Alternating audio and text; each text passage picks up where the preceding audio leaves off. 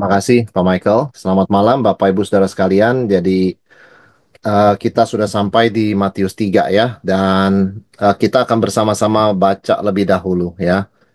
Pada waktu itu tampillah Yohanes Pembaptis di padang gurun Yudea dan memberitakan, "Bertobatlah, sebab kerajaan sorga sudah dekat." Sesungguhnya dialah yang dimaksudkan Nabi Yesaya ketika ia berkata, "Ada suara orang yang berseru-seru di padang gurun, persiapkanlah jalan untuk Tuhan, luruskanlah jalan baginya." Ya, Bapak Ibu, jadi eh, kita masuk settingnya dari Bethlehem eh, pada Galilea di mana Yesus besar ya di Nazaret itu. Kemudian sekarang kita masuk ke padang gurun Yudea, seorang tokoh yaitu Yohanes Pembaptis ya. Nah, saudara sekalian, eh, padang gurun itu adalah lokasi yang sepi dan tandus. Jadi padang gurunnya ya seperti yang digambar ini ya di background ini. Ada sedikit tanam-tanaman tapi ya tidak tidak bisa sebetulnya ya disebut eh, seperti eh, hutan atau apa. Betul-betul tandus ya. Nah, saudara sekalian, padang gurun Yudea itu daerah yang besar sekali ya, antara pebukitan Yudea dan Laut Mati. Jadi Yohanes Pembaptis itu areanya kira-kira di situ, ya, padang gurun Yudea, Judean Wilderness ya. Dan ini juga adalah lokasi ya, padang gurun itu mengingatkan kita akan tempat pembentukan umat Allah.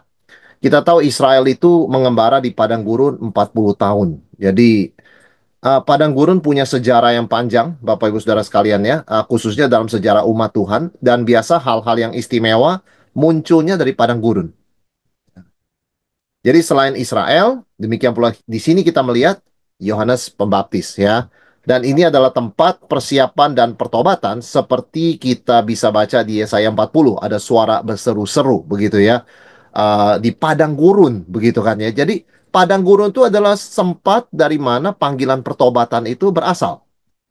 Seruan pertobatan ya, pertobatan begitu loh. Nah, saudara sekalian, mungkin kita bertanya, kenapa padang gurun istimewa? Bukankah itu tempat tandus? Saudara, ternyata di padang gurun itu tempat yang sunyi ya, sepi ya. Tetapi di situ momen kita bisa mendengar suara Tuhan. Jadi umat Tuhan tidak ada distraksi, tidak ada godaan-godaan yang bagaimana di padang gurun begitu ya. Seharusnya mereka di padang gurun itu bisa konsentrasi mendengar suara Tuhan. Karena nggak ada suara yang lain. Padang gurun nggak ada suara lain, saudara sekalian ya. Jadi itu sebabnya padang gurun menjadi simbol tempat pertobatan, persiapan hati, ya, tempat orang dibentuk oleh Tuhan. Karena dia hanya dengar suara Tuhan. Ya, dia dia tidak dengar uh, hiruk pikuk dan bisingnya perkotaan atau uh, tempat-tempat lain, saudara sekalian. Ya, Uh, kita melihat Musa menghabiskan 40 hari 40 malam di gunung Sinai, Elia di gunung Horeb. Jadi uh, mungkin kita pikir sekarang, gunung, padang, padang, padang gurun, begitu ya, gunung, uh, persamaannya apa? Itu tempat yang sepi. Ya, itu sebabnya uh, retreat itu orang Kristen punya ide retreat, saudara sekalian ya. Artinya memang kita itu menjauhkan diri dari kebisingan hidup sehari-hari, kemudian mendekatkan diri pada Tuhan ya. Nah, Yohanes uh, ketika dia muncul di padang gurun, hidup di sana, bergerak di sana, sebetulnya dia mengikuti jejak dari Musa dan Elia ya. Uh, lebih kepada Elia sebetulnya, saudara sekalian ya. Jadi memang Yohanes itu adalah seorang yang bukan tiba-tiba muncul begitu ya, tetapi sudah dinubuatkan dari Yesaya 40 dan ada mengikuti tradisi Musa dan Nabi Elia. Jadi ini bukan orang yang nggak jelas, out of the blue muncul, tetapi memang sudah dipersiapkan oleh Tuhan ya. Jadi padang gurun ini adalah tempat persiapan atau penyucian ya, menyambut kedatangan Tuhan. Suaranya itu datang dari padang gurun tersebut, saudara sekalian. Nah, kalau kita melihat ya, ada ada tulisan di dalam ayat pertama tadi pada waktu itu ya. Jadi dari Matius 2 uh, yang terakhir saudara sekalian ya, di mana kita baca Yesus besar di Nazaret begitu kan kira-kira usia 12, tiba-tiba di Matius 30 muncul ya. Muncul lagi begitu kan ya Yohanes Pembaptis dan tidak lama kemudian Yesus muncul sehingga ada lompatan 30 tahun antara Matius 2 dan Matius uh, bukan 30 ya ya sekitar segitulah 30 tahun ya. Uh, Yesus di Nazaret kan bukan berarti dia sudah umur 12 waktu itu ya. Uh, tetapi kan uh, kira-kira ada lompatan 30 tahun dari Matius 2 ya, dari orang majus mencari begitu ya, sampai tiba-tiba kita lihat Yohanes Pembaptis muncul itu kira-kira 30 plus minus loh Saudara sekalian ya, dalam sejarah keselamatan. Ya, artinya apa? Memang kita mesti belajar sabar dan menantikan janji Tuhan. Bayangkan 30 tahun. Tuhan menjanjikan Elia akan datang. Itu dari Maleaki begitu ya. Munculnya kapan? Munculnya yaitu Yohanes Pembaptis Saudara sekalian. Setelah Yesus lahir pun dia tidak langsung muncul sampai 30 tahun kemudian.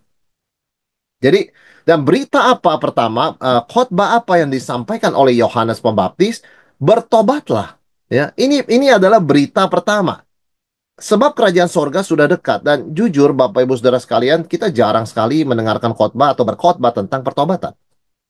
Jarang sekali mendengar tentang pertobatan begitu ya. Sesekali kita dengar ya. Tetapi khotbah pertama yang Yohanes sampaikan adalah pertobatan ya. Bertobatlah. Nah, kita tahu bahwa istilah bertobat atau pertobatan itu dari kata metanoia, artinya perubahan radikal pikiran dan hati begitu ya, afterthought begitu kan harafianya.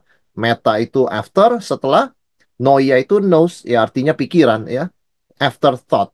Nah, saudara sekalian, dalam kalimat Yohanes di sini bukanlah sekali doang bertobat ya, tetapi terus-menerus.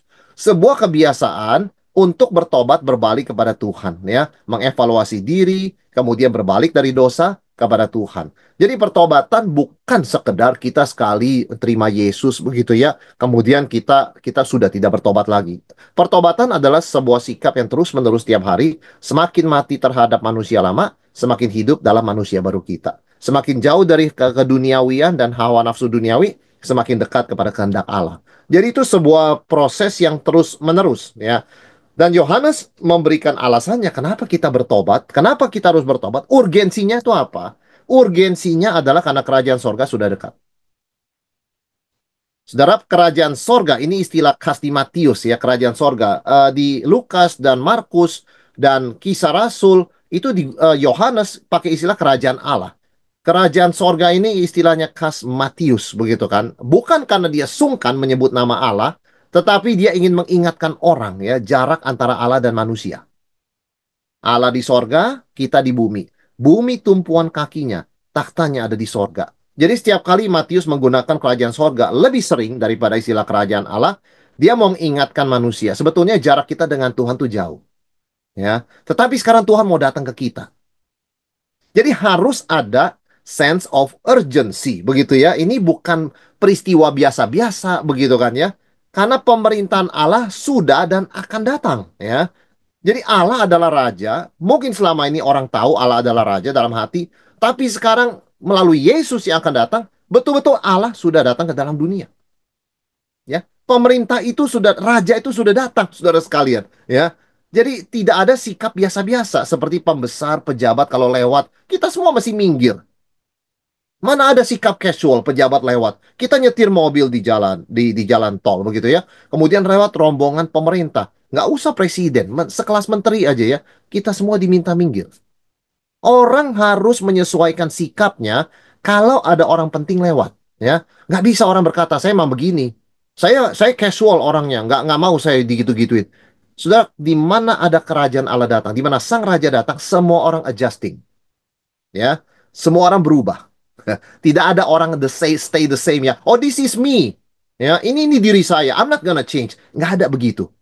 Bertobat kata Yohanes ya. Itu alasannya ya saudara sekalian karena kerajaan Allah sudah kerajaan sorga sudah dekat. Artinya kita mulai adjusting, menyesuaikan diri dengan nilai-nilai kerajaan Allah. Yang namanya, ini cara hidupku, dari kecil aku di keluarga memang begitu kok, begitu ya. Kemudian aku sudah terbiasa demikian berpuluh-puluh tahun. Saudara, kata-kata itu tidak masuk dalam kerajaan Allah semua orang berbalik. Apa pun dia dibesarkan dengan apa, DNA-nya itu apa, bisa atau nggak bisa, sulit atau gampang, everybody harus adjust ya, menyesuaikan diri dengan nilai-nilai kerajaan sorga ya. Dan di sini Yohanes menggunakan istilah sudah dekat itu perfect ya, artinya apa? Seperti sudah datang. Jangan tunggu datang nanti terlambat begitu ya, tetapi sudah pasti datang begitu loh. Jadi hiduplah seperti itu. Ya, jadi ini menunjukkan urgensi. Jadi jangan tanya, kapan kerajaan Tuhan datang? Saya nanti dia baru adjust. No, today, sekarang ini kita berubah ya. Right now, sekarang juga. Jadi urgensi ini dinyatakan dengan penggunaan uh, perfect tense. soal sudah dekatnya ini. Sudah dekat ya, sudah begitu kan ya. Itu perfect saudara sekalian. Jadi uh, waktunya sudah sampai, jangan tunda, tidak ada alasan menunda. Sekarang waktunya sadar, bangun ya, bertobat, taat begitu kan. Jangan tanya kapan ya kita masih sungguh-sungguh ya, umur berapa sih kita harus sungguh-sungguh melayani. Kita kan masih sibuk nih sekarang. Saudara, yang namanya pertobatan urgent ya. Jadi nggak tunggu kapan karir saya selesai begitu ya. Saya bisa pensiun dari perusahaan, anak-anak sudah besar. It's today. Mau anak kita masih kecil sudah besar, mau ada anak tidak ada anak, ada pasangan atau tidak begitu ya. Mau kita masih usia produktif atau tidak.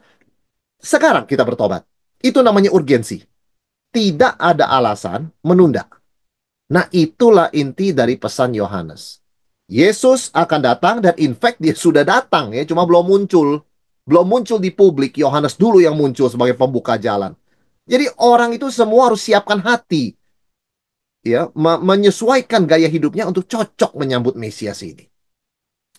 Saudara tentu ini membawa kita bertanya ya kepada figur misterius ya yang namanya Yohanes Pembaptis. Siapa sih dia? Ya. Saudara Yohanes adalah suara. Ya, penggenapan janji Tuhan dalam Yesaya 40 ya dan Maleakhi 3 ayat 1 di mana Tuhan berkata, "Aku akan mengirimkan Elia sebelum datangnya hari yang besar itu. Nah, orang kan bertanya, maksudnya Elia itu kan naik ke sorga, dia nggak mati begitu. Apa dia turun dari sorga lagi begitu kan? Ternyata tidak. Yang dimaksud dengan Elia di sini adalah figur Yohanes Pembaptis. Ya, di mana ketika dia datang, uh, di, Tuhan katakan dia akan membalikan hati bapak kepada anak, anak kepada bapak, membalikan begitu ya. Pertobatan itu balik tuh. Turn around ya. Nah, saudara sekalian, di sini kita melihat kesetiaan Tuhan menepati janjinya. Ya, jadi meskipun orang sudah lupa, orang juga dari Maleakhi sampai munculnya Yohanes itu sudah hampir mungkin 300-400 tahun, Tuhan masih ingat janjinya. Ya, tetapi kembali, saudara sekalian, meskipun sudah dinubuatkan, orang macam apa Yohanes begitu ya? Yohanes Baptis. Dikatakan kalau dari sudut penampilannya, ayat 4, Yohanes memakai jubah bulu unta dan ikat pinggang kulit dan makanannya belalang dan madu hutan. Saudara sekalian, pakaian Yohanes dari bulu unta, ya. Uh, kemudian ikat pinggangnya mirip Elia, ya, Elia. Nah, ini menegaskan apa, saudara sekalian? Menegaskan perannya sebagai nabi dan Elia yang akan datang. Kalau kita baca di Maliaki 4, ya. Nah, gaya hidup sederhana Yohanes ini adalah supaya dia fokus kepada panggilan Tuhan. Jadi ya kalau kita pakai bahasa sekarang, Yohanes makannya asal, pakaiannya asal. Ya. Tapi pelayanannya tidak ada asal-asalan. Kira-kira begitu ya. Yohanes minimalistik kalau soal pakaian, Yohanes minimalistik kalau soal makanan. Asal ada makanan, pakaian cukuplah. Itu kira-kira filosofi hidupnya ya. Jadi minimalistik di dalam gaya hidupnya, tetapi maksimalistik di dalam pelayanannya.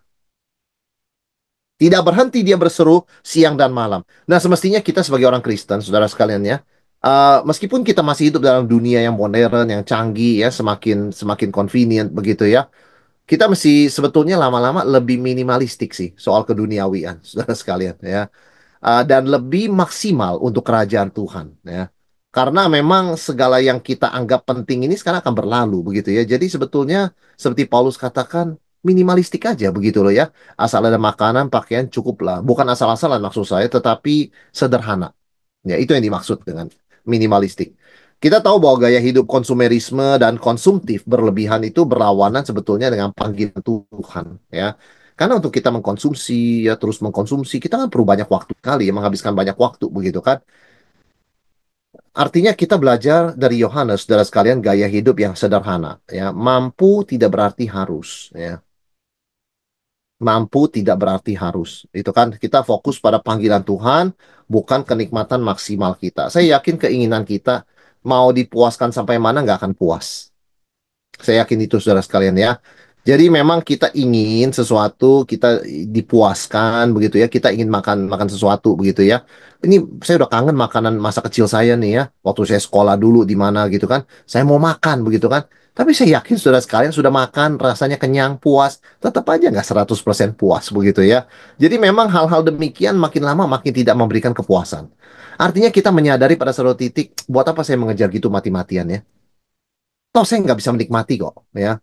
Makin tambah usia, tambah ikut Tuhan, begitu kan saya juga nggak bisa maksimal menikmati itu.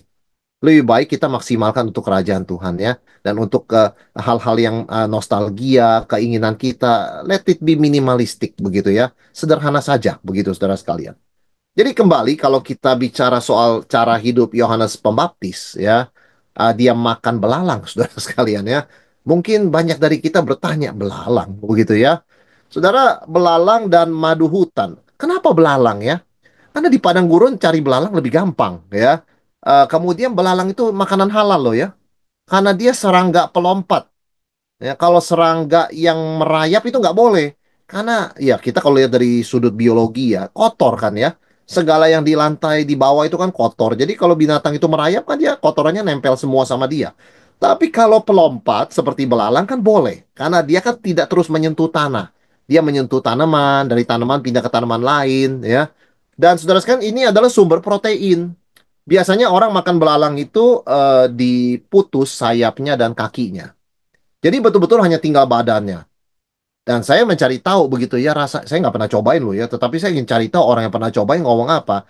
Rasanya itu tidak bau, saudara sekarang karena dia makan daun, baunya itu bau daun ya. Jadi kalau orang makan belalang itu baunya bau daun ya, dia bukan bau sengit, dia bukan bau apa karena belalang makannya kan tanaman ya. Uh, locus di sini maksudnya. Nah, saudara sekalian, jadi Yohanes dapat protein dari mana? Ya dari belalang. Dan juga dapat energi dari mana? Kalori dari madu hutan, begitu ya, manis begitu kan. Apa sih yang mau disampaikan dengan cara hidup Yohanes demikian ya? Orang gak ada yang larang dia kok, gak ada yang haruskan dia. Tuhan nggak bilang cara hidupnya mesti gitu ya, enggak. Itu pilihan dia sendiri. Ya, kenapa dia pilih hidup seperti itu? Itu bicara masalah pengendalian diri. Ya, supaya fokus pada panggilan Tuhan, menolak hedonisme dan ada unsur independen ya. Kita kalau hidup itu tidak minimalistik kebanyakan tergantung sama orang sih saudara sekalian ya, tergantung pada orang, jujur. Kalau kita hidup minimalistik itu cenderung bisa independen. Cenderung bisa independen ya. Uh, jadi memang kita harus pikirkan bagaimana kita dalam hidup ini tidak membebani orang lain termasuk anak-anak kita begitu ya uh, memang kita butuh orang lain dan orang lain juga butuh kita begitu ya tapi sedapat mungkin minimalistik lah ya dalam pengertian kita bergantung pada orang sehingga kita bisa lebih mengabdikan diri kita begitu untuk pekerjaan Tuhan. Ya memang kadang-kadang ada situasi tidak terhindarkan tapi satu hal kita belajar dari Yohanes ya. Kalau saya masih bisa sendiri kenapa dibantu orang? Biarlah saya bisa membantu orang dan berkhotbah menyampaikan seruan kerajaan Allah sudah dekat dan baptis orang begitu ya. Nggak usah orang anterin makanan ke saya. Nggak usah orang cariin makanan buat saya bisa cari sendiri ya nggak usah orang beliin pakaian buat saya. Bukan saya nolak begitu ya. Saya bisa bikin pakaian sendiri dari bulu unta. Ya is an independent simple lifestyle dari Yohanes ya. Tujuannya bukan mau pamer dia itu hebat ya, survivalist, tetapi dia mau mengatakan panggilan Tuhan lebih penting dari semuanya. This is just simple things ya, hal-hal begini asal bisa lewat satu hari, that's fine ya. Toh makanannya sehat, makanan sehat kok saudara sekalian ya, bukan bilang makanan asal-asalan itu nggak sehat begitu kan? Makanan itu halal, penuh dengan protein, di, uh, murah begitu kan, dicarinya gampang di padang gurun begitu kan, lalu madu hutan juga tidak sulit mencarinya ya kan. Cari aja sarang lebah begitu kan yang cukup aman begitu kan. Kemudian ya ambil aja madu dari sana.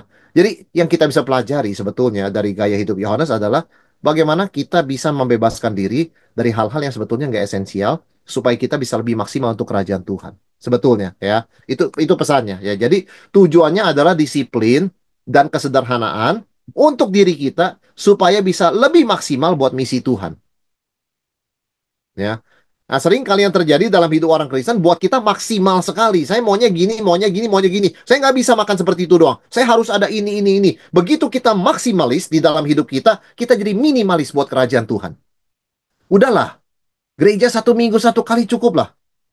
Ya, nggak usah, nggak usah ini, nggak usah itu. Kita menjadi minimalistik di dalam kerohanian. Karena kita menghabiskan maksimalismenya untuk hal-hal yang berkaitan dengan keinginan kita, saudara sekalian ya. Jadi bagaimana kita bisa hidup belajar dari Yohanes Baptis begitu ya? Untuk diri minimalistik, untuk Tuhan maksimal. Kira-kira demikian ya, cari dulu kerajaan Allah dan kebenarannya. Dan kemudian juga Yohanes di, uh, dikatakan pakainya dari bulu unta begitu kan ya. Jadi ini mirip dengan Elia juga ya. Jauh dari kemewahan. Kita tahu zaman itu pakaian bikinnya dari apa sih? Dari kain halus. Bulu unta nggak halus, saudara sekalian ya. Dari sutra ya, dari jubah panjang. Tuhan Yesus kan di, di dalam gambar-gambar pakai jubah panjang, bukan pakai bulu unta loh, saudara sekalian ya. Ya kan di gambar-gambar kan pakai jubah panjang begitu. Memang normal begitu pakaian atau ya warna ungu begitu ya warna raja. Yohanes itu super minimal pakai bulu unta. Tapi poin dia bukan soal trendy atau bukan soal pamer, bukan soal gaya dia, ini keunikan saya. Poin dia adalah independen. Dia tidak mau tergantung orang. Ya, saya bisa bikin sendiri kok. Ya, pakaian itu kan bulu unta atau ya intinya bulu unta itu lebih tahan ya. Karena di padang gurun tuh panas dia memberikan rasa adem tapi dia tidak gampang rusak ya. Kalau kain lenan halus di padang gurun mah rusak saudara sekalian ya. Mesti ganti mesti beli lagi. Kira-kira itu yang dalam pikiran Yohanes ya dari cara hidupnya. Saudara, uh, menarik sekali bahwa ada ada penafsir dan banyak penafsir mengatakan Yohanes ini eh, jangan-jangan uh, berasal dari komunitas Qumran. Saudara, Qumran itu adalah komunitas eksklusif yang menjauhkan diri dan hidup di pinggir laut mati, dekat laut mati. Ya, jadi daerahnya tandus begitu ya, dekat laut mati itu tandus. Uh, kenapa banyak penafsir mengatakan Yohanes mungkin berasal atau ada kaitan dengan komunitas tersebut? Karena gaya hidup Yohanes itu seperti gaya hidupnya Qumran, minimal. Gaya hidupnya asketik. Asketik itu yang mendisiplin diri, minimal buat diri, sedikit tersiksa nggak apa-apa begitu ya. Uh, seperti itu saudara sekalian gaya hidupnya Kumran ya. Nah, memang lokasi pelayanan Yohanes mirip gaya hidupnya dengan komunitas Kumran ya. Jadi uh, di sini kita nanti banyak menemukan gulungan laut mati. Saudara tahu ada gulungan kitab laut mati, salinan perjanjian lama. Itu kan komunitas Kumran yang kerjanya mengkopi-kopi Alkitab dengan akurat begitu ya. Dan gara-gara mereka itu kita punya kopi banyak sekali kopi salinan naskah perjanjian lama ya dan sebagainya. Jadi Alkitab kita akurasinya sangat bisa dipastikan se lewat sejarah. Karena setiap komunitas, setiap generasi menyalin ya. Dan dalam Yohanes zaman Yohanes itu ada komunitas namanya Qumran. Tetapi memang uh, tidak pasti juga Yohanes dari Qumran meskipun dia mungkin mirip dengan Qumran ya karena Qumran itu eksklusif dan tertutup begitu ya.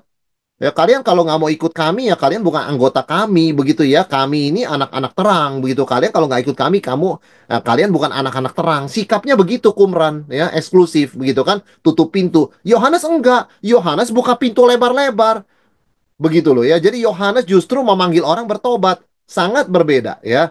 Dan satu hal kita belajar memang uh, dari sikap hidup Yohanes ini adalah kita berani belajar melangkah keluar dari comfort zone kita, saudara sekalian, ya. Dan bagaimana respon orang ketika Yohanes tampil memberitakan kerajaan Allah sudah dekat, panggil orang bertobat? Bagaimana respon orang, saudara sekalian? Ayat 5 dan 6. Maka datanglah kepadanya penduduk dari Yerusalem dan seluruh Yudea, dari seluruh daerah sekitar Yordan. Lalu sambil mengaku dosanya mereka dibaptis oleh Yohanes di sungai Yordan. Ternyata daya tarik Yohanes sangat besar, saudara sekalian ya. Orang-orang dari berbagai daerah datang kepada Yohanes. Jadi ternyata sebelum Yohanes itu muncul, Tuhan sudah siapkan hati yang dahaga. Hati yang dahaga, yang besar, yang mendalam ya. Dahaga akan pengharapan Mesias. Saudara kadang kita suka down ya, suka down melihat, aduh kok sekarang zaman sekarang generasi sekarang nggak tertarik pada kerohanian, tidak tertarik pada gereja, begitu ya. Kok seperti itu, begitu ya. Bagaimana masa depan Kristenan? Kalau menurut saya kita nggak perlu pesimis sampai bagaimana. Karena kenapa, saudara sekalian? Karena manusia adalah makhluk rohani. Ketika dia terus-menerus menolak firman Tuhan, itu ada kedahagaan besar. Kedahagaan itu makin banyak, itu menjadi ladang yang subur buat kebangunan rohani. Ketika firman Tuhan dicurahkan, orang bisa menghargai. Karena selama ini mereka sudah hampir mati kehausan. Ya, jadi itu sebabnya 400 tahun, saudara bayangkan. Dari Maleaki sampai Yohanes muncul, ada 400 tahun loh. Itu masa di mana Tuhan tidak kirim nabi. Tuhan tidak kirim penglihatan ya. Tuhan tidak kirim firman. Itu masa kegelapan ya. Kenapa Tuhan izinkan 400 tahun itu masa kegelapan? Supaya orang bisa merasakan apa rasanya hidup tanpa firman ya. Silahkan hidup tanpa nabi Tuhan. Hidup nggak ditegur oleh Tuhan. Hidup nggak diingatkan. Mereka merasa sangat kosong, sangat haus. Ketika Yohanes muncul mengatakan kerajaan sorga sudah dekat, bertobatlah. Maka responnya sudah siap. Itu waktu Tuhan. Ya. Jadi bagi saya, saudara sekalian, kita bukannya bersuka cita lihat orang gak ke gereja, lihat orang jauh dari Tuhan. Tapi maksud saya, sekalipun kita berduka cita, kita nggak boleh putus asa. Oleh karena yang Tuhan sedang lakukan adalah menciptakan kedahagan rohani yang begitu besar, sampai ketika firman Tuhan datang, mereka akan telan mentah-mentah. Karena mereka selama ini tidak tahu. Ya, Saudara firman yang benar kalau diberitakan itu betul-betul memuaskan dahaga terdalam ya karena menyentuh hati terdalam ya. Ini kita tahu bahwa makanan rohani yang sejati firman Tuhan memuaskan uh, kebutuhannya terdalam. Seringkali memang uh, kita tahu ajaran-ajaran palsu mengenakan telinga, tetapi dia tidak pernah menjawab kedahagaan hati ya. Dia menyenangkan telinga, dia menyenangkan mata, tetapi dia tidak pernah memuaskan dahaga rohani. Begitu ya. Mungkin orang ketika mendengar firman yang tidak benar itu, ajaran yang palsu itu, mereka entertain begitu ya, karena banyak lucunya begitu kan. Kemudian mereka merasa ini juga sangat-sangat enak didengarnya, kata-katanya itu enak di telinga begitu kan. Tapi sebetulnya tidak memberikan mereka makan apa-apa, mereka tetap dahaga rohani ya. Nah, saudara sekalian, kebutuhan spiritual yang sebenarnya sering kali tidak terlalu disadari ya. Uh, felt need begitu kan ya felt need. Kita sering kali memang merasakan apa yang kita butuhkan, kita rasakan begitu ya.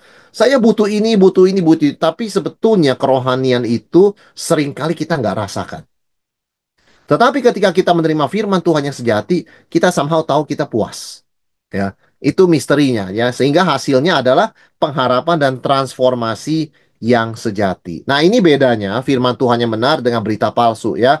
Karena memuaskan telinga secara dangkal dan sesaat begitu kan.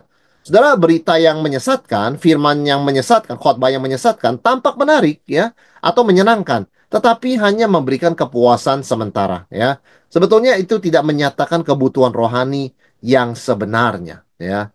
Sehingga apa yang kita lihat dalam jang, dampak jangka panjang ya, firman yang benar itu memberikan keselamatan, menuntun kepada kebenaran Tuhan dan perubahan hidup yang sejati. Nah, waktu itu membuktikan ya.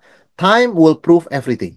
Ya, orang kalau dididik dan di, di apa ya diberikan makan firman Tuhan yang sejati, nanti 5-10 tahun waktu nggak bisa bohong.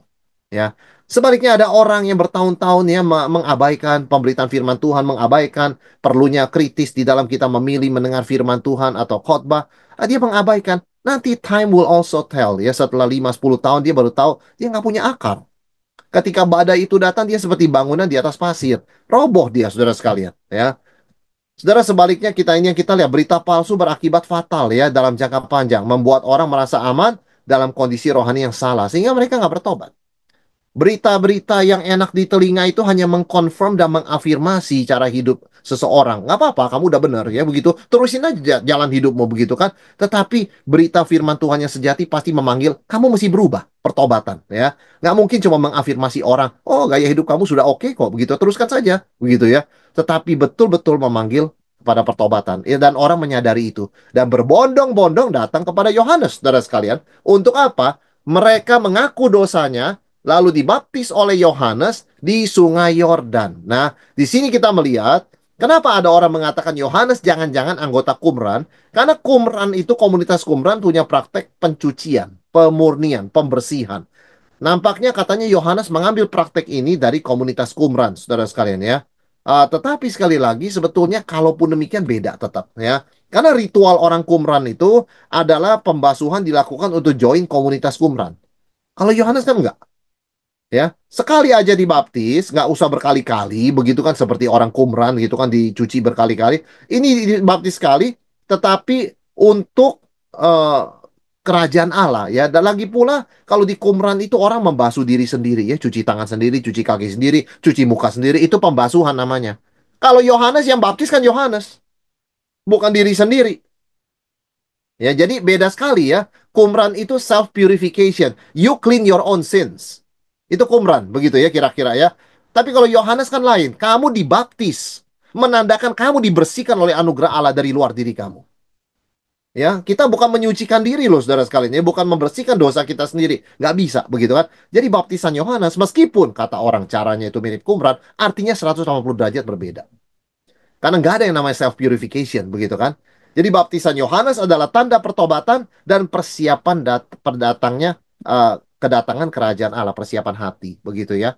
Jadi pertobatan itu adalah membuka jalan untuk Tuhan, ya, hadir dan bertakhta di dalam hidup kita. Saudara sekalian, Markus dan Lukas uh, bicara hal yang sama, menyorot aspek baptisan Yohanes, sisi pengampunan dosa. Ya, tetapi kalau uh, Matius menyorot aspek pengakuan dosa, pengakuan dosa, saudara sekalian ya. Jadi bukan uh, pengampunan dosa, tetapi pengakuan dosa. Ya, uh, itu saling melengkapi Injil ya. Ngaku kalau nggak diampuni apa gunanya? diampuni nggak mau ngaku apa gunanya juga begitu ya. Jadi Matius, Markus, Lukas saling melengkapi. Markus Lukas menyoroti janji pengampunan dosa ya kalau percaya pada Tuhan. Sedangkan Matius menyoroti kamu harus ngaku dosa begitu kan untuk menerima pengampunan Allah yang melalui kerajaan Allah ini ya. Jadi saudara sekalian Matius menyoroti aspek ini ya dan ini dia bedakan daripada apa saudara sekalian ritual lahir ya begitu kan oh ya asal udah dibasuh bersih sudah beres enggak mesti ngaku dosa Begitu kan kira-kira saudara sekalian. Jadi itu sangat mendalam pertobatan itu ya sampai ke akar-akarnya. Nah, kita belajar di sini kita perlu menjadi orang Kristen sejati ya dari hati. Bukan cuma ritual, lahiria atau KTP. Nah, saudara sekalian, tetapi ayat 7 mengatakan ada oknum lain yang datang ketika Yohanes membaptis, yaitu orang Farisi dan orang Saduki datang untuk dibaptis. Waktu Yohanes lihat itu, dia berkata kepada mereka, Hai kamu keturunan ular beludak. Saudara sekalian, siapakah yang akan mengatakan kepada kamu bahwa kamu dapat melarikan diri dari murka yang akan datang?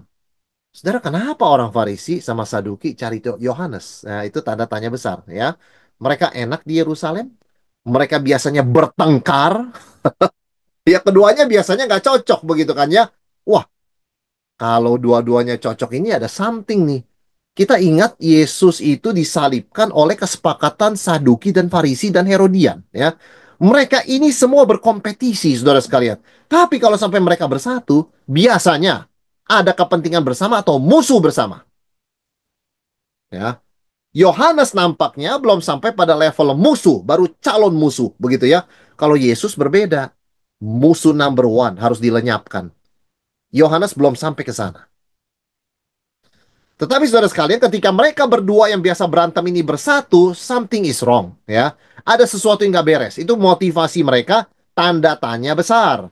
Motivasi yang nggak jelas. Kenapa mereka mau dibaptis, begitu kan? Apakah mereka mau apa sebetulnya? Kalau kita lihat, Saduki Farisi yang selalu merasa diri benar, mau dibaptis oleh Yohanes, tujuannya cuma satu. Supaya mereka bisa menampilkan kesalehannya di mata rakyat. Tuh, lihat tuh. Ya, Lihat itu loh, pemimpin-pemimpin rohani kita sangat rendah hati dan rohani. Paling-paling begitu ya motivasi mereka. Eh, padahal Yohanes menegaskan pertobatan itu yang paling penting motivasinya. Bukan perbuatannya. Baptisan, oke kamu dibaptis. Motivasinya apa? Ya, jadi pertobatan bicara masalah masalah hati, ya. Dan saudara sekalian, itu sebabnya yang penting itu motivasi ya. Dan kita perlu memeriksa hati karena hati yang dilihat Tuhan ya. Tingkah laku kita memang manusia melihat dan ya kita bisa ya kita bisa bertingkah laku baik begitu kan dan mereka mungkin ya terkesima begitu melihat kita wah rohani sekali ya tetapi saudara sekalian yang paling penting motivasi itu inti daripada Yohanes dan Yohanes uh, menyebut mereka keturunan ular beludak saudara ini kata-kata yang tegas dan keras sekali ya tetapi pertanyaannya, mengapa mereka sebagai tokoh rohani mau dibaptis Yohanes? Apa tidak malu? Begitu ya? Kenapa begitu kan? Yohanes itu kan orang di padang gurun, nggak jelas begitu loh. Uh, pakaian bulu unta sangat simpel, makannya belalang madu, hut, madu hutan. Orang bilang dia aneh, begitu kan? Orang aneh muncul dari padang gurun teriak-teriak sendiri, berita khotbahnya lain sendiri, pertobatan. Saudara, kenapa mereka mau dibaptis oleh Yohanes? Ya, salah satunya adalah tekanan sosial dan citra publik ya saudara sekalian, mereka takut sekali. Mereka takut. Saudara ingat mereka begitu takutnya sama pengaruh dan karisma Yohanes sampai ketika Yesus tanya, tanya, jawab pada saya ya supaya nanti saya kasih tahu jawabannya. Baptisan Yohanes dari Allah atau dari manusia, dari sorga atau dari manusia? Gak berani jawab mereka. Kalau mereka jawab dari sorga, kenapa nggak percaya pada Yesus? Yohanes bicara Yesus kok. Kalau bilang dari manusia, akan ditimpukin orang banyak. Jadi mereka setelah nego-nego jawab, kami nggak tahu baptisan Yohanes dari mana. Saudara sekalian, seorang teolog nggak tahu jawaban baptisan Yohanes dari mana. Ya, kalau dipikir-pikir ya, orang sekolah teologi ditanya baptisan Yohanes dari mana? Nggak tahu. Dari sorga nggak tahu. Dari manusia juga nggak tahu katanya kan. Itu jawaban politis, bukan teologis. Ya, jadi mereka ini memang takut sama Yohanes Pembaptis. Mereka takut, saudara sekalian. Mereka melihat tuh masa yang mendukung Yohanes itu dari berbagai tempat luar biasa. Ya, mereka gentar ya. Nah, sekaligus kesempatan mereka cari perhatian. Ini kan lagi banyak orang ngumpul nih, berbagai macam orang. Loh, kita masih show dong, ya. Kita masih pamer sedikit begitu. Kita ini adalah tokoh ya, rohani di sini tuh kita, begitu loh. Ya. Buktinya apa? Kita dukung kok begitu loh ya. Nah, saudara sekalian, saat yang sama mereka punya niat yang agak gelap nih ya. Nanti-nantinya mereka akan mau mencari kesalahan dan kelemahan Yohanes dari dekat. Ya, kalau bukan datang ke tempat itu dan pura-pura mau dibaptis sama Yohanes, mereka nggak bisa lihat Yohanes dari dekat, begitu ya. Mereka nggak bisa cari kesalahannya karena orang-orang kan polos ya, hanya minta dibaptis. Dan kalaupun mereka itu betul-betul dibaptis karena takut hukuman, Yohanes juga menegur mereka. Ya, kamu dibaptis sekedar takut hukuman, begitu loh ya. Kamu tidak mengerti bahwa motivasi yang lebih dalam itu bukan takut hukuman, ya. Uh, itu adalah seharusnya takut akan Tuhan. Saudara sekalian, uh, jadi kemungkinan besar memang ada berapa kemungkinan sih untuk motivasi orang Farisi dan Saduki, tetapi apa pun itu motivasinya dan kemungkinannya, ujung-ujungnya diri sendiri, begitu kan ya. Jadi mereka itu tidak ada niat tulus bertobat ya, dan itu yang kita belajar. Kita bertobat harus ada niat tulus, begitu ya. Takut akan Tuhan bukan takut hukuman. Ya. Takut akan Tuhan bukan takut akan takut hukuman. Kalau kita takut hukuman, ya kita cuma takut. Kita belum tentu respect Tuhan. Kalau takut akan Tuhan, kita respect Tuhan. Berbeda sekali ya. Berbeda sekali. Nah, saudara sekalian, Yohanes menyebut orang Farisi dan orang Saduki ini adalah keturunan ular beludak. Saudara sekalian, uh, viper, begitu ya. Kenapa disebut demikian? Karena orang Farisi dan orang Saduki sebetulnya menghalangi orang bertobat. Perhatikan ini. Yohanes panggil orang bertobat, mereka muncul. Minta dibaptis. Yohanes marah. Kalian ke sini bukan bantu pekerjaan Tuhan. Kalian ke sini untuk membajak pekerjaan Tuhan dan mempersulit orang bertobat. Gimana caranya? Yohanes sudah hafal sekali metode mereka. Yang pertama, oh bagus, bagus. Yohanes bagus, tapi nggak cukup. Mesti ada aturan, tradisi, ya harus ada. Kita harus menghormati nenek moyang kita ya. Nggak bisa kita hidup seolah-olah nggak ada hari kemarin, begitu kan ya? Nah, mulai mereka menambahkan aturan-aturan dan tradisi, menciptakan birokrasi, sehingga orang mau bertobat rasanya berat amat, begitu ya. Berat amat kita mau bertobat. Saudara kita bersyukur ya dalam nama Yesus kita hanya berkata Tuhan ampuni dosaku ya.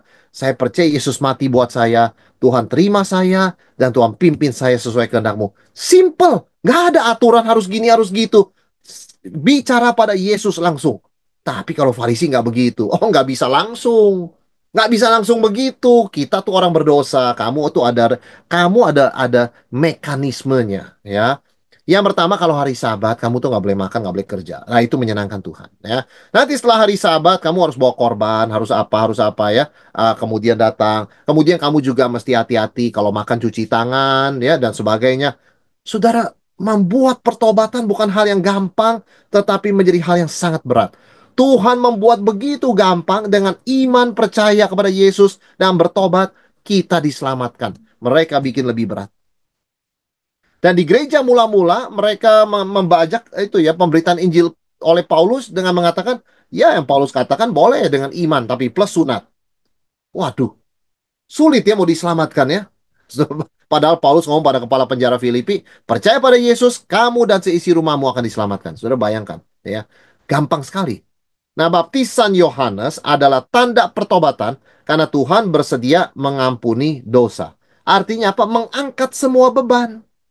Ya, mengangkat semua beban. Orang merasa tidak layak, justru harus datang dibaptis oleh Yohanes. Tapi kalau Farisi Saduki lain loh, ya.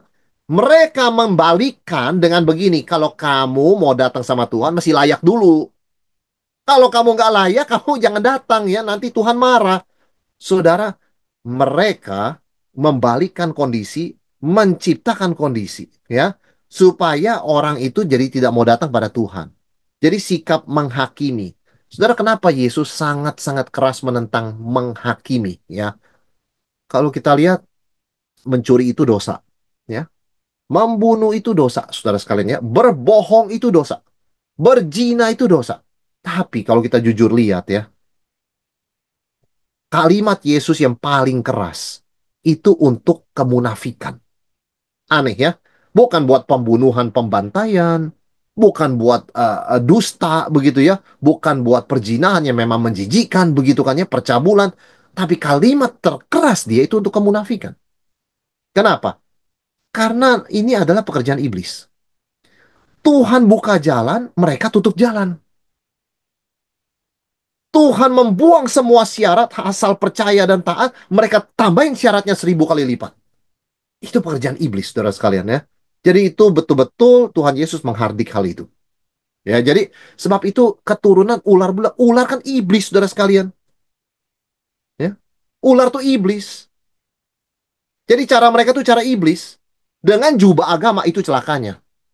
Itu celakanya. Dengan jubah terang, malaikat terang, mereka membawa agenda yang sangat gelap and devil begitu ya, menghalangi orang bertobat. Nah, cara kedua selain tradisi dan aturan-aturan yang dia tambah-tambahkan begitu kan, adalah mengklaim diri rohani. Tapi kelakuan sebaliknya, ini munafik begitu ya. Jadi mengajarkan orang biasa untuk berpura-pura. Jadi begini, mereka sudah halangin orang bertobat mengatakan nggak bisa main datang begitu aja. Bawa dong kambing domba dan kita cek bercacat atau enggak. Dan nggak bisa pakai uang begitu. Mesti tukar ke bait Allah. Uangnya nanti kami yang keluarkan mata uang nilai tukar kami tetapkan. Aduh sulit amat ya. Mereka sangat mempersulit saudara sekalian. Mempersulit orang mau datang sama Tuhan. Begitu ya. Itu satu. Dengan tradisi dan aturan dan birokrasi. Ya begitu ya. Yang kedua, orang melihat ini mereka banyak peraturan-peraturan ini mereka sendiri nggak lakukan. Nah, itu kan namanya munafik, saudara sekalian ya. Jadi sehingga orang-orang yang mau datang pada Tuhan jadi kacau pikirannya. Oh, agama itu yang penting mulutnya sama pakaiannya ya. Kelakuannya tahu sama tahu lah begitu kan. Waduh, merusak orang, saudara sekalian ya. Jadi memberikan pesan yang mengacaukan, membingungkan nih, begitu ya. Oh, jadi beragama itu memang yang penting kita lahiriahnya benar. Kalau hati itu udahlah, forget it, begitu ya. Nah, saudara sekalian, ya. Padahal Yohanes berkhotbah pertobatan itu dari hati. Bukan lahiria. Lahiria itu kedua, saudara sekalian. ya. Jadi mereka ini sudah menghalangi orang bertobat. Mereka sendiri nggak melakukan apa yang mereka ajarkan. Atau munafik ya. Saudara, mereka disebut keturunan ular beludak. Seperti ular di Taman Eden. Menggoda mencobai orang untuk berdosa. Kalau orang sudah ada niat bertobat, tiba-tiba dikasih aturan, birokrasi, tradisi, lalu dikatakan kamu belum bisa. Kamu belum bisa datang pada Tuhan, belum layak. Tuhan kasih, Tuhan nggak mau seperti itu ya. Kamu mesti layakkan diri kamu dulu, begitu-begitu sebagainya. Saudara, itu kan sudah menghalangi orang datang pada Tuhan ya. Jadi sudah terbalik dari Tuhan begitu ya. Itu kan iblis begitu, pekerjaan iblis ya. Eh, kemudian juga uh, licik dan penuh penipuan begitu ya. Jadi racun yang mematikan ya, lidah menipu menggunakan kata-kata rohani. Wah, ini yang celaka.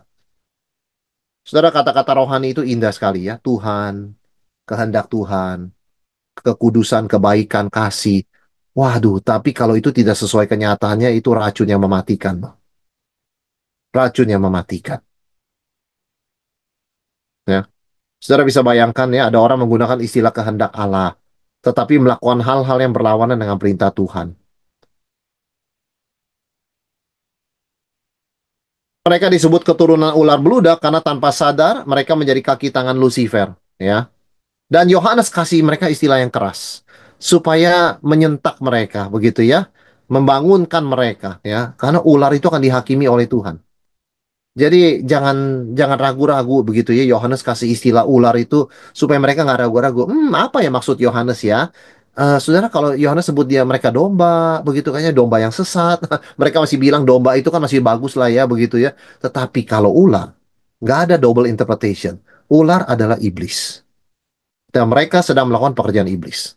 Dengan pura-pura minta dibaptis dan tidak sungguh-sungguh bertobat dari hati. Karena itu Yohanes mengatakan ayat 8, jadi hasilkanlah buah yang sesuai dengan pertobatan. Ya, Hai kamu keturunan ular beludak. Siapa yang akan mengatakan kepada kamu bahwa kamu dapat melarikan diri dari murka yang akan datang? Hasilkanlah buah yang sesuai dengan pertobatan. Saudara sekalian, teguran Yohanes ini menyadarkan orang akan integritas dan keberanian ya. Yohanes menegur kemunafikan mereka secara terbuka dan keras. Ini kan didengar orang banyak, ya. Kenapa? Supaya mereka tidak bisa bersembunyi di balik kata-kata racun yang mematikan itu.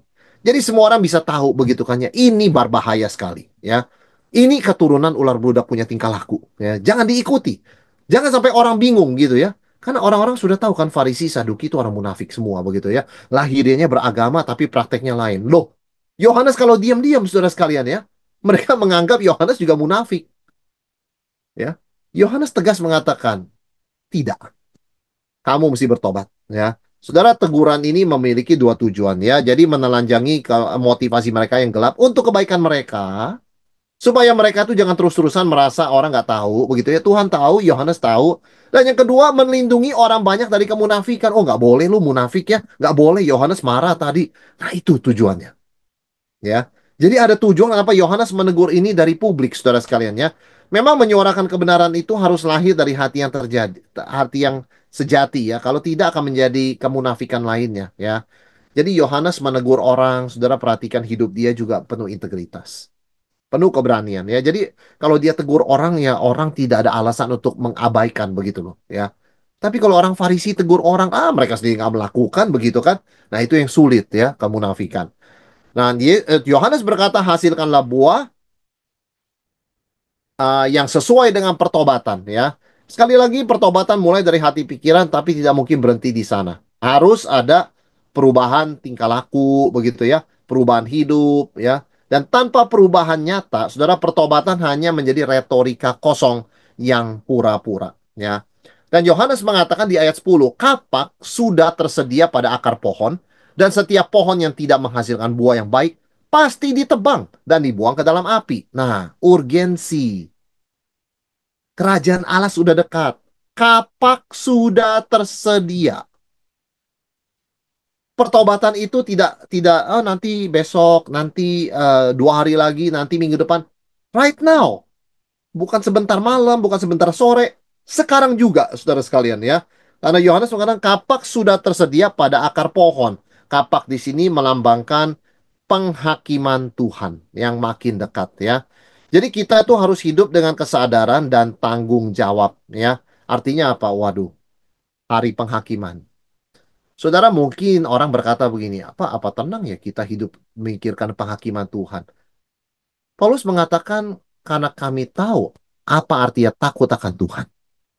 Kami menasihati semua orang bahwa hati kami itu terang-terangan nyata. Ya, kami nggak menyembunyikan apa-apa. Karena setiap orang harus menghadap takhta pengadilan Kristus. Supaya setiap orang menerima apa yang dilakukan dalam hidup ini, baik maupun jahat. Wah, Saudara, jadi ternyata urgensi pertobatan hanya bisa kita rasakan kalau kita hidup dengan bayang-bayang penghakiman Tuhan. Bukan Tuhan menghukum kita masuk neraka karena kita sudah diselamatkan sekali untuk selamanya, tetapi Tuhan Maha Tahu dia akan membongkar semua motivasi. Jadi kita tidak mungkin ada waktu berani menyembunyikan punya motivasi yang tidak baik dan sebagainya. Hidup dengan kesadaran dan tanggung jawab ya. Karena suatu saat kita akan ditanya Tuhan, mengapa kamu melakukan pelayanan hari Minggu di gereja? Nah, kita harus bisa jawab Tuhan. Itu namanya urgensi. Mulai dari motivasi, saudara sekalian ya. Jadi jangan tunda pertobatan, bertobat now. Dan namanya pertobatan berarti kita harus berhenti menyalahkan lingkungan dan orang lain. Selama jari kita masih menyalakan lingkungan, jari kita menyalakan orang lain, kita belum merasa bertobat. belum merasa perlu bertobat. Yang salah istri saya. Yang salah itu suami saya. Anak saya yang salah. Ini salah papa mama saya besarkan saya seperti ini. Ya, ini yang salah gereja. Gereja salah. Tidak bahas ini, tidak bahas itu. Ini yang salah tuh apa ya? Banyak pengkhotbah-pengkhotbah. Saudara, kalau kita masih pointing fingers, nggak ada repentance. Repentance itu berarti kita tunjuk jari ke diri kita. It's me.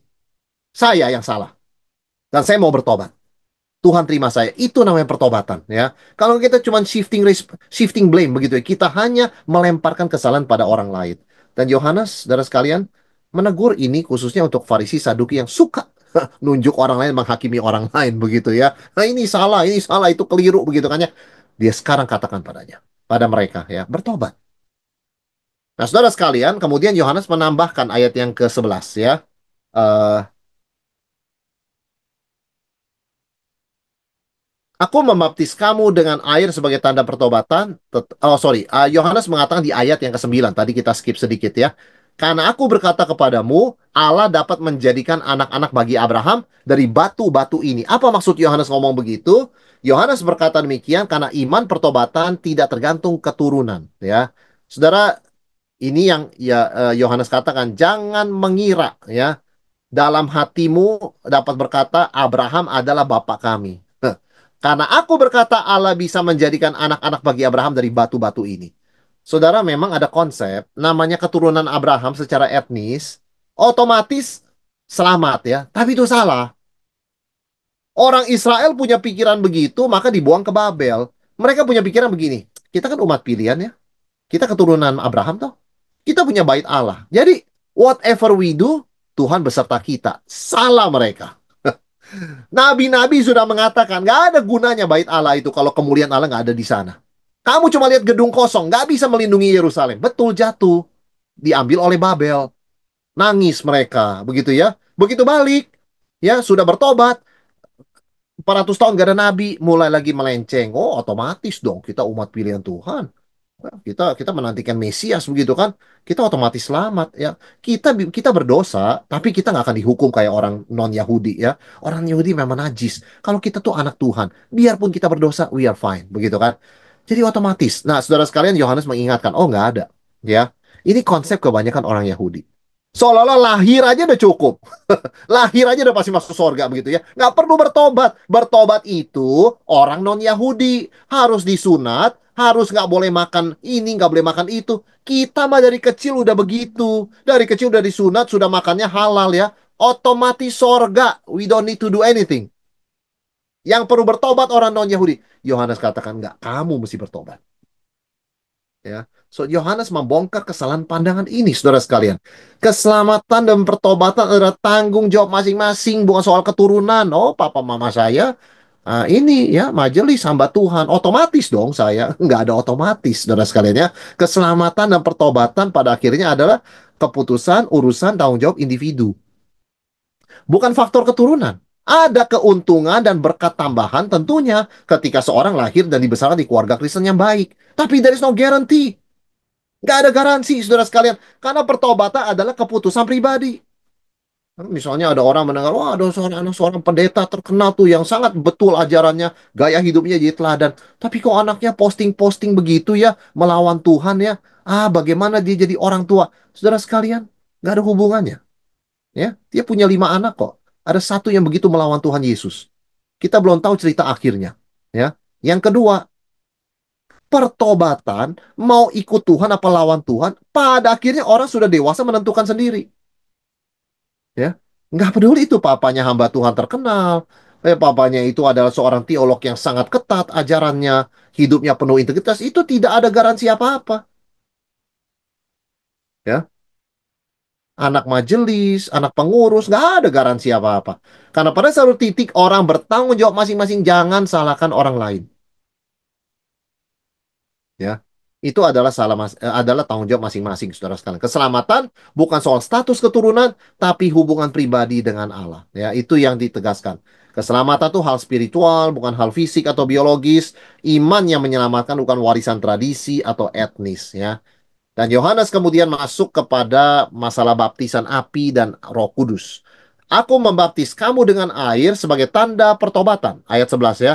Tetapi ia datang setelahmu dia daripadaku lebih berkuasa. Aku tidak layak melepaskan kasutnya. Dia membaptis kamu dengan roh kudus dan dengan api. Saudara sekalian. Alat penampi sudah di tangannya. Ia akan membersihkan tempat pengirikannya dan mengumpulkan gandumnya ke dalam lumbung. Tetapi debu jerami itu akan dibakarnya dengan api yang tidak terpadamkan. Saudara Yohanes itu rendah hati ya. Mengakui tidak layak membuka kasut. Mesias. Saudara, sebetulnya membuka kasut itu kerjanya budak ya. Yohanes mengatakan jadi budak Yesus pun saya nggak cocok. Dia lebih rendah dari budak loh. Ya biasanya yang membuka kasut orang itu adalah budak. Membuka kasut tuannya, begitu kan ya. Yohanes mengatakan saya jadi budak Yesus pun nggak layak. Ini bukan retorika kosong, pura-pura begitu ya. Betul-betul kesadaran siapa saya. Ayah ibu saya Zakaria Elizabeth. Ya mereka orang biasa. Siapa saya? Ya siapa saya? Sehingga saya boleh jadi pembuka jalan. Buka tali kasutnya pun aku nggak layak saudara sekalian. Dia menyadari diri sebagai pembuka jalan bukan Mesias ya. Dia mengarahkan perhatian kepada Yesus bukan mencari atau menarik perhatian kepada diri. Padahal pengikut Yohanes luar biasa jumlahnya. Kalau pakai Instagram jutaan loh, saudara sekalian ya. Kalau kita terjemahkan ke dalam zaman sekarang, Instagram Yohanes itu followernya jutaan loh. Dan mereka tanya satu pertanyaan, Yohanes, apakah kau Mesias? Aduh, saudara sekalian, tinggal jawab satu kalimat tiga kata yes. Tinggal jawab begitu. Godaannya berapa besar? Yes, maybe. Yohanes nggak jawabnya, no, saya bukan Mesias. Ya, Saudara, kapan lagi punya masa begitu banyak, punya follower gitu banyak? Kapan lagi tidak manfaatkan momentum? Ini momentum dari Tuhan. Orang percaya kamu Mesias. Yohanes, orang yang sangat rendah hati, yang katakan, aku jadi budak Yesus pun gak layak. Jadi ketika ditanya, engkau kayak Mesias? Bukan. Saudara sekalian, siapa kamu? Engkau salah seorang nabi? Bukan. Siapa kamu? Aku suara. Suara yang berseru di padang gurun. Suara suara, saudara sekalian ya, just a voice. Aku bantu menyuarakan, that's it. Nah, kepuasan kita, kita belajar dari Yohanes, pada akhirnya bukan ketika kita dipuji orang lain, tetapi ketika orang lain memuji Tuhan dan kita masih dipakai Tuhan, jadi budaknya sekalipun. Saudara sekalian, Yohanes menyadari ya kebahagiaan itu dipakai Tuhan, bukan dipuji manusia. Kita bersyukur kalau kita melayani dipuji manusia, ada feedback baik, tetapi nggak selalu ya, dan bukan itu tujuan kita ya. Dan kalau kita tidak dipuji oleh manusia, kita tetap masih bersyukur. Kenapa? Saya masih dikasih pelayanan. Saya masih dikasih pelayanan. Hidup saya masih berguna. Tuhan masih dengar doa syafaat saya. Saya doa nggak sia-sia. ya. Saya mengasihi orang nggak sia-sia. Tuhan terima pelayanan saya. Luar biasa. Saudara sekalian ya, Yohanes pun suatu saat bisa mengalami krisis iman begitu ya. Tapi satu hal kita belajar, dia sangat rendah hati ya. Dan dia mengatakan kamu akan dibaptis dengan Roh Kudus ya. Dia akan membaptis kamu, Yesus akan baptis kamu dengan Roh Kudus dan dengan api ya. Sekarang kita pelajari sedikit. Baptisan Roh Kudus itu apa Saudara sekalian? Itu adalah kelahiran kembali. Regenerasi ya, new birth ya, regeneration, transformasi hati. Jadi memang hanya Yesus melalui karyanya dan melalui karya Roh Kudus kita bisa dilahirkan kembali ya. Dan ini memang penggenapan janji Tuhan juga bahwa aku akan mencurahkan rohku di akhir zaman. Nah ini kan Mesias datang sudah akhir zaman. Dan Tuhan mencurahkan rohnya begitu ya. Yesus membaptis dengan roh kudus. Tetapi dikatakan juga dengan api. Apa itu baptisan api saudara sekalian ya? Api itu kan ada dua fungsi. Bagi anak Tuhan memurnikan. Bagi orang yang menolak Tuhan menghakimi atau ini ya, penghukum ya. Maka Yohanes memberikan istilah pengirikan ya atau penggilingan istilahnya saudara sekalian ya, pengirikan, alat penampi dan sebagainya. Nah, itu kan dua fungsi. Jadi bagi anak Tuhan ya, saudara sekalian kita anak Tuhan itu adalah pemurnian. Artinya apa? Kalau kita melewati api, kita melewati kesulitan, kita melewati disiplin, kita melewati teguran penderitaan, kita tuh dimurnikan. Ya, jadi kalau orang berkata ikut Yesus 100% enak, cuman ada enaknya, tidak ada tidak enaknya, itu tidak mungkin, saudara sekalian ya. Karena Yesus mengatakan, ranting-ranting yang bersih, aku gunting supaya lebih bersih. Itu sakit. Ya, Mengikut Yesus, melayani Tuhan dengan motivasi yang murni, itu pasti melewati kesulitan, disiplin, teguran, dan penderitaan. Ya, Nah, tetapi anak Tuhan tidak meragukan Tuhan hanya karena dia mengalami kesulitan dan penderitaan, saudara sekalian. Kenapa? Karena kesulitan itu sebagai ujian dan preview sukacita kekal di sorga. Ya, dia dimurnikan begitu loh. Jadi diuji, diuji seperti emas itu apa perak itu diuji melalui api begitu kan supaya kelihatan murninya, tested begitu kan. Kemudian sebagai preview, aduh kalau di dunia kita menderita, betapa bahagianya kita di sorga ya tidak ada lagi penderitaan dan air mata. Itu kan semua preview. Ya, preview di sorga itu saudara sekalian. Sebaliknya, api juga berfungsi sebagai penghakiman. Bagi orang yang tidak percaya, mendengarkan berita pertobatan, lalu menunda dan tidak bertobat, saudara sekalian, mereka mengalami kesulitan, penderitaan, supaya mereka itu bertobat. Jadi orang suka berkata begini, Pak, kenapa ya orang Kristen itu menderita, orang bukan Kristen lancar? Saya mau katakan, orang bukan Kristen banyak sekali penderitaannya. Saudara sekalian ya, orang Kristen banyak berkatnya, orang bukan Kristen juga banyak penderitaannya. Coba kita lihat sehari-hari, jujur. Orang non-Kristen banyak penderitaan nggak? Banyak sekali. Banyak sekali saudara sekalian. Dan itu kasihannya mereka. Tidak ada meaning dalam penderitaannya. Gak ada meaning. Cuman naas. ya Kurang beruntung. Kecelakaan. Gak ada meaning. Itu kasihan loh saudara sekalian ya. Jadi orang yang tidak percaya, ketika dia mengalami kesulitan, tidak ada artinya. Kecuali itu menjadi panggilan Tuhan untuk mereka bertobat. Karena itu ketika seorang yang tidak percaya sakit ya, mengalami sakit ya, orang yang keras begitu ya, sakit badannya, makin lama makin lemah, didatangi oleh orang Kristen. Bolehkah kami mendoakan Bapak? Wah, saudara sekalian, 99% bilang iya boleh. Iya boleh. Kesulitan penderitaan tuh membuat orang siapa pun dia tuh humble. Ya. Dan telinganya terbuka. Didoakan boleh. Jarang sekali melawan, saudara sekalian ya. Jadi kesulitan berfungsi sebagai preview hukuman kekal. Jadi sekarang Tuhan izinkan kesulitan bagi orang bukan Kristen supaya mereka bilang, masa hidup seperti ini naasnya ya? Masa hidup seperti ini kurang beruntungnya ya? Masa hidup saya sangat-sangat depresi seperti ini nggak ada lagi artinya begitu kan? Waduh, gimana nanti apa yang akan mati aja begitu ya? Mati nanti gimana ya? Saudara, itu adalah preview aku hukuman kekal. Di mana terdapat ratap tangis dan kertak gigi. Nah, itu kan untuk membangunkan mereka pada pertobatan ya. Tapi buat kita anak Tuhan, kesulitan adalah untuk menguji kita, artinya sangat dalam, membuat kita lebih serupa dengan Yesus, bersekutu dalam penderitaan dan kematiannya. Itu luar biasa ya, artinya dalam sekali. Saudara, baptisan Yesus di sini kita melihat di ayat yang ke-13, maka datanglah Yesus dari Galilea ke Yordan kepada Yohanes untuk dibaptis olehnya. Tetapi Yohanes mencegah dia katanya, akulah yang perlu dibaptis olehmu dan engkau yang datang kepadaku. Lalu Yesus menjawab katanya, Biarlah itu terjadi, karena demikianlah sepatutnya kita menggenapkan seluruh kehendak Allah. Dan Yohanes pun menurutinya. Sesudah dibaptis, Yesus segera keluar dari air dan pada waktu itu langit terbuka. Ia melihat roh Allah seperti burung merpati turun ke atasnya.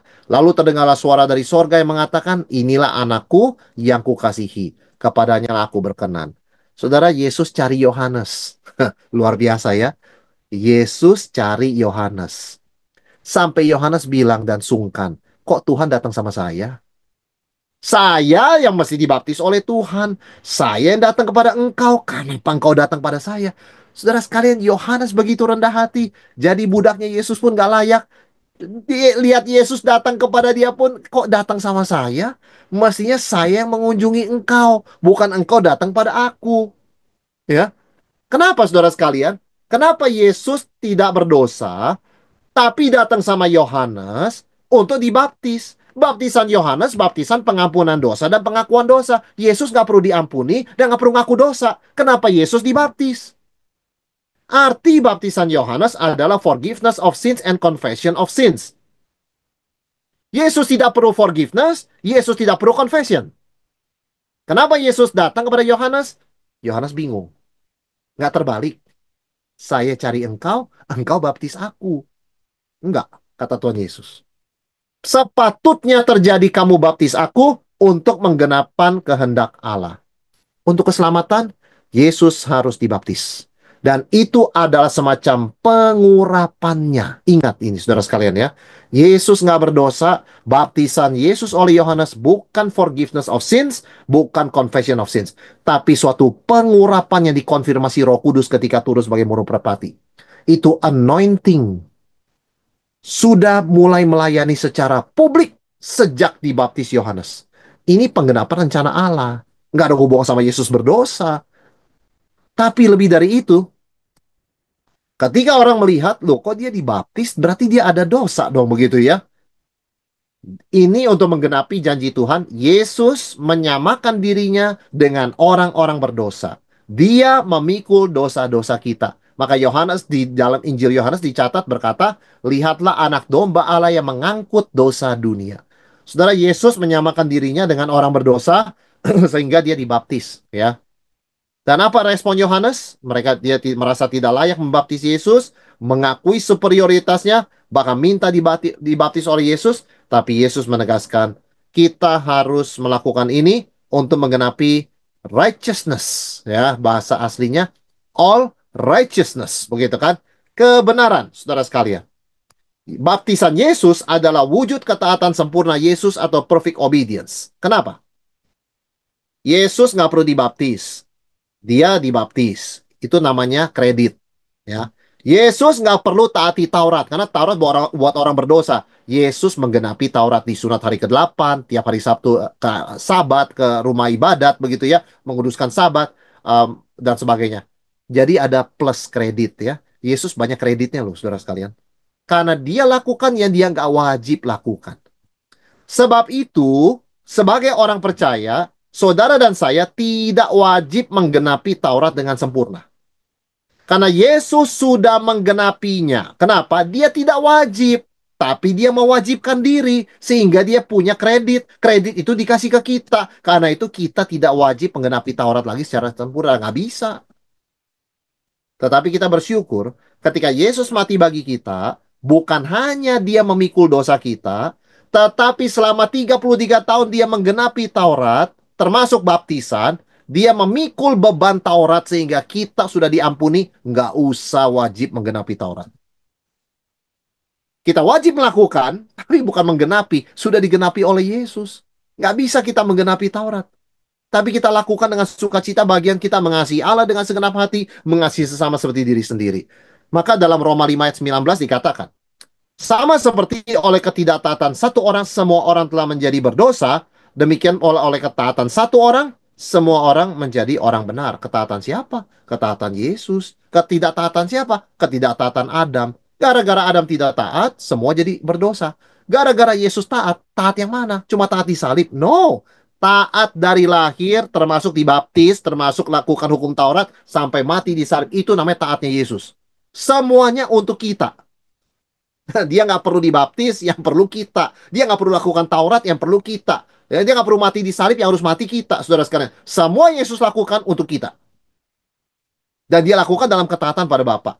Sebab itu saudara dan saya dibebaskan dari beban Taurat. Ya, jadi ini indah sekali ya. Yesus nggak perlu dibaptis, tapi dia dibaptis dan itu menyenangkan Bapa. Ya, dapat konfirmasi dari sorga ya. Inilah anakku yang kukasihi, kepadanya aku berkenan. Ah, luar biasa saudara sekali. Ini momen yang sangat istimewa karena momen, momen Allah Tritunggal ya langit terbuka. Ini special revelation. Jarang-jarang Tuhan buka langit ya. Saudara sekalian ya. Jarang-jarang Tuhan buka langit. Kecuali apa? Kecuali mau kasih tahu dunia. Jesus is the son of God. Nggak ada kompromi. Oke? Okay? Ini adalah special revelation. Nggak ada tafsir-tafsiran. This is my son. Nggak perlu ada tafsiran. Yesus adalah anak Allah. Anak tunggal Allah. Ya. Khusus untuk kristologi, langit terbuka.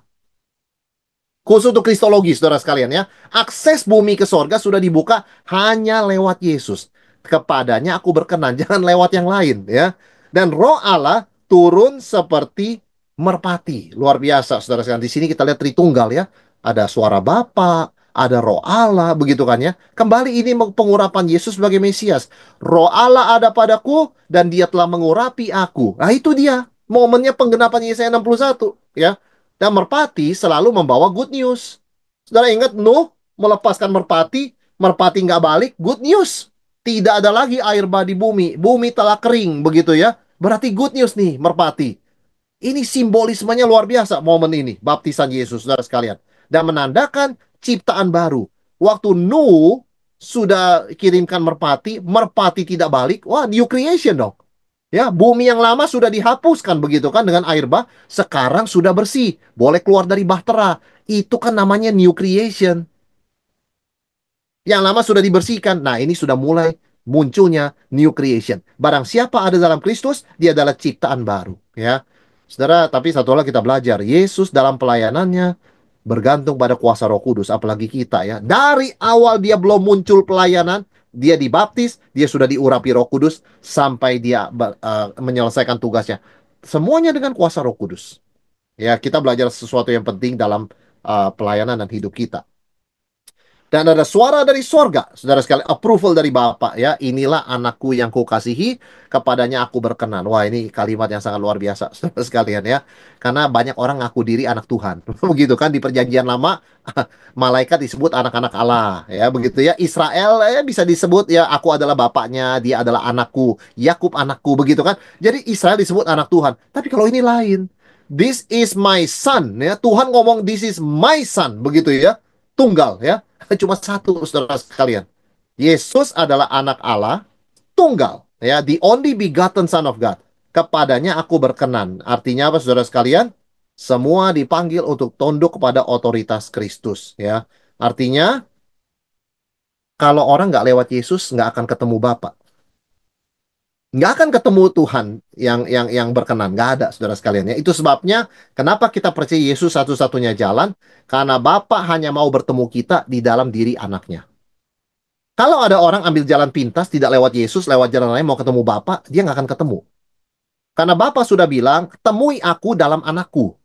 Ya di luar anakku aku nggak kenal kamu. Perhatikan ini. Yesus adalah Allah anak Allah yang dikasihi dalam dirinya Bapak berkenan. Bapak cuma berkenan lewat Yesus. Di luar itu Bapak tidak berkenan dan marah dan murka. Sebab itu Luther mengatakan hanya lewat Yesus, lewat salib orang bisa menemukan Bapak di sorga. Di luar Yesus, di luar salib orang ketemunya Allah yang sang hakim. Ya, nggak akan ketemu wajah Bapak yang tersenyum. Wajah Bapak tersenyum hanya kalau lihat anak. Dan barang siapa datang dan percaya pada anak, dia akan berdamai dengan Tuhan. Tapi orang kalau mau shortcut langsung datang pada Tuhan, ah kita semua kan percaya Tuhan, Tuhan ada begitu kan? Kamu lewat Yesus, saya lewat yang lain. Saudara sekalian, firman Tuhan mengatakan nggak akan ketemu dengan Bapa yang penuh dengan sukacita ya dan perkenan. Yesus melayani dengan kuasa Roh Kudus dengan tujuan menyenangkan Bapa dan kita boleh simpulkan keselamatan kita luar biasa ya adalah karya Allah Tritunggal, saudara sekalian. Di sini kita melihat kehadiran Allah Tritunggal. Suara Bapak, perkenan Bapak, Roh Kudus turun berupa burung merpati, kemudian Yesus Kristus mentaati seluruh kehendak Tuhan, mulai ya dalam pelayanan dengan baptisan. Oke, saudara sekalian demikian ya Matius 3 bagi kita pada malam hari ini. Saya kembalikan pada Pak Michael